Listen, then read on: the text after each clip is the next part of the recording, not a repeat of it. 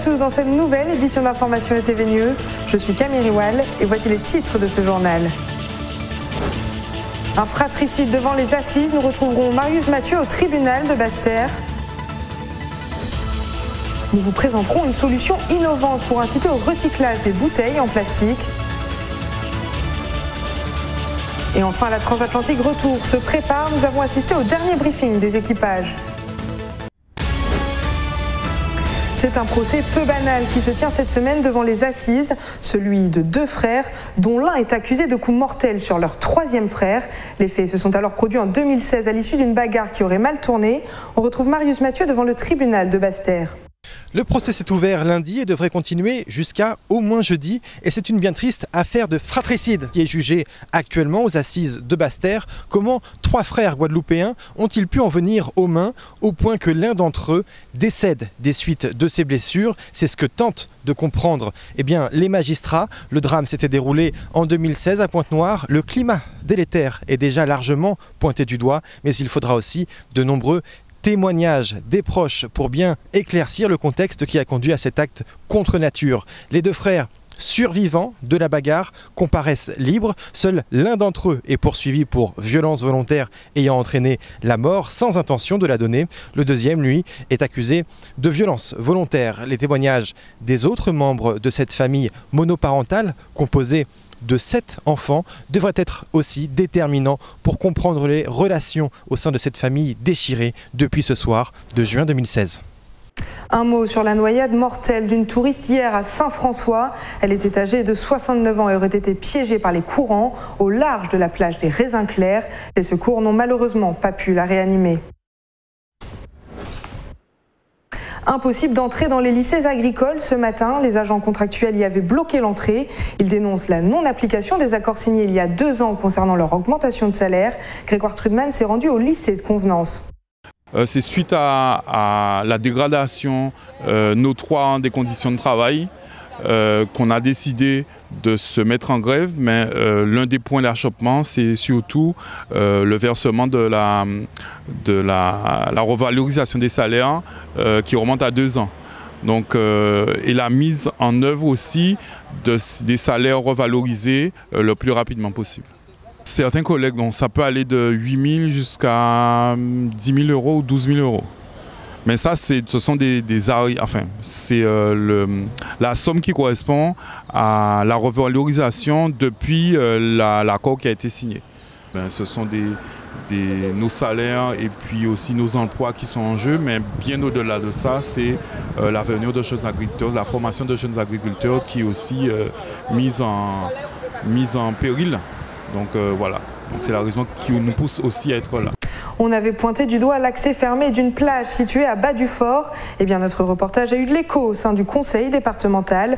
Josette Borel-Lincertin a en effet annoncé la réouverture du sentier vendredi prochain pour éviter, je cite, que ce sujet fasse l'objet d'exploitation politique et médiatique. C'est un incendie qui avait beaucoup marqué les esprits. Il y a plus d'un mois, plusieurs maisons partaient en fumée dans le quartier de Blanchard. Un concert de solidarité est d'ailleurs organisé ce soir pour les sinistrés. Objectif, les aider financièrement à surmonter cette épreuve, chose qui est loin d'être le cas pour certains. Voici le témoignage de l'un d'eux.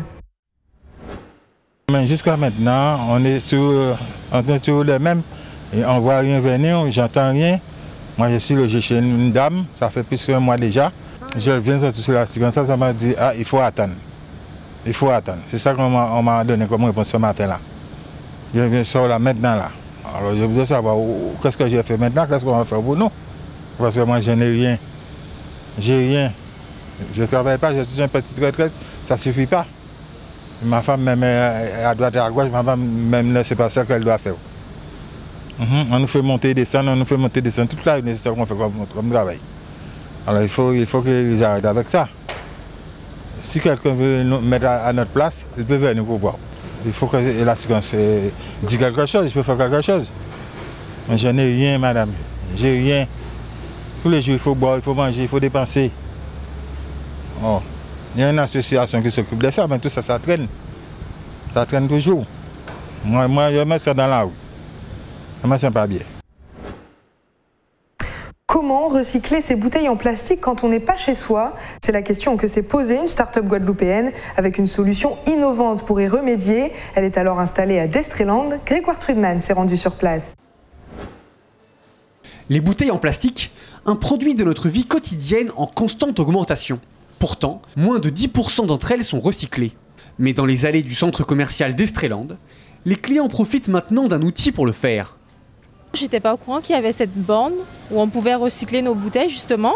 Donc euh, moi j'ai l'habitude de recycler mes bouteilles euh, dans les conteneurs.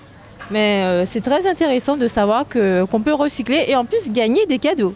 Car cette machine est un casino éco-citoyen.